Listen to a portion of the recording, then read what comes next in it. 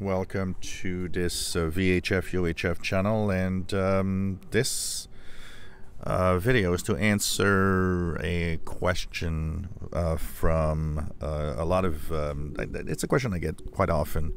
It's a question I get on shortwave receivers, and of course, I get it from time to time on the VHF UHF range.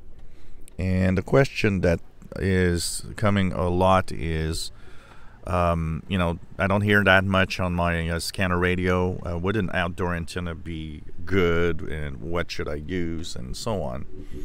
Let's first, before you know, in, in doing any videos and suggesting video of uh, any antennas, let's just be uh, very, very uh, fair here in uh, this answer. Most of the viewers out there have portable scanner radios and portable scanner radios are not usually designed for outdoor antennas. I'm not saying all of them, and I'm not, I'm not saying that some of them might not be good, but I can tell you by having used a lot of scanner radios over the last 30 years that in general the portable scanner radios are better left with the little either the rubber ducky antenna that you have or if it's not that, you might improve it with um, I've you know that's what I use on a lot of my radios. Um, a uh, extendable telescopic that's made for wideband listening.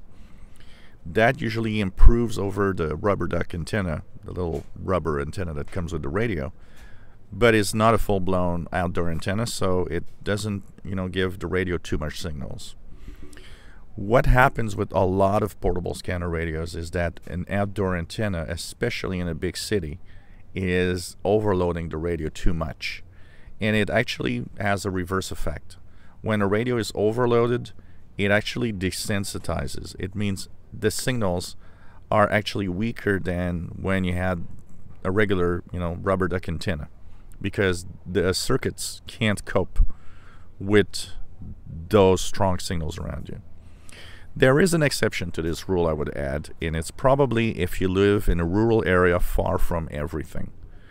If you don't have a lot of strong signals around you and you do live in a rural area, now maybe a portable scanner radio could actually benefit from a outdoor antenna because it's going to give it that edge, that signal that might just not be strong enough with the regular onboard antenna. The external antennas are better fitted for what are desktop scanner radios. Desktop scanner radios, by design, are often uh, made to actually accept outdoor antennas better because they are made to actually react better in their circuits. An amplifier, the RF amplifier, usually is better shielded and better uh, designed to cope with very strong signals. So having desktop receivers might actually make the use of an outdoor antenna a good idea at that point.